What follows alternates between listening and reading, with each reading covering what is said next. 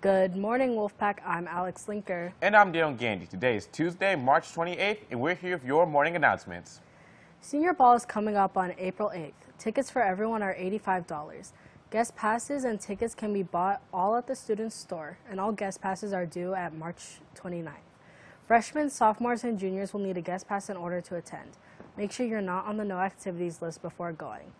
By the way, seniors, voting for royalty will occur from the 28th to the 31st, ending Friday. Tickets for seniors are due on Wednesday, April 5th. Check your Synergy or Google Classroom for more details. If you're going to take summer school, you'll need to submit a form by April 7th. All classes will be in person from 8 a.m. to 12.30 p.m.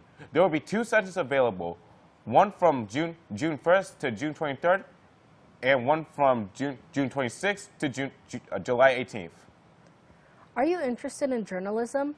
All students can apply to write for the Sacramento School Bee to report on their school and district to make up for the lack of professional education reporters. All questions can be directed at Steve O'Donohue at sacccitynews at gmail.com.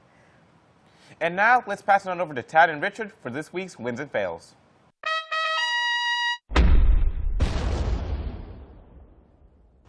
What's up, Wolfpack? I'm Tad Schultz. And I'm Richard Pickett, and these are your wins and fails. First is a fail to our court system because the case of U.S. versus TikTok has just been a mess so far. The judges asked if TikTok has access to the home Wi-Fi. Like, of course it does, bruh, so does every app.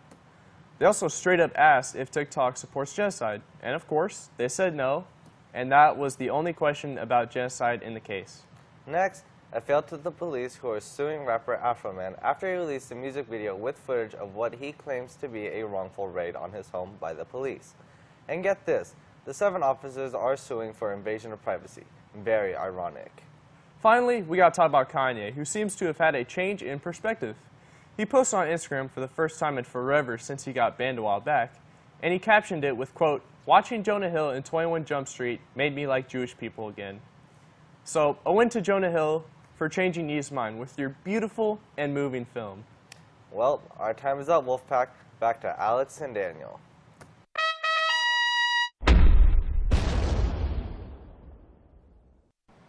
Thanks, guys.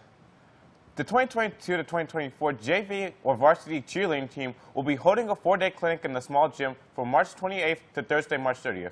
Each day, the clinics will be from 4 p.m. to 6 p.m. The final trial day will be, will be on Friday, March 31st. Have you thought about traveling to Japan? Well, there's an upcoming educational travel experience to Japan in the summer of 2024. Scan the, the QR code to find all the meeting details and register to save for your seat on the trip. You can come hear all the details which include the itinerary activities, academic opportunities, the cost of the trip, and EF's risk-free enrollment period at the upcoming informational meeting. Do you want to take a professional culinary do you want to take professional culinary arts during fifth period next year? If so, please ask your counselor to sign up. If you've never taken a culinary arts class before, don't worry, you can still sign up. Well, that's all we have for you today, Wolfpack. I'm Alex Linker. And I'm Dale Gandy. And remember, the strength of the pack is the wolf. And the strength of the wolf is the pack. Happy, Happy National, National Something, Something on a Stick Day, Wolfpack. Wolfpack.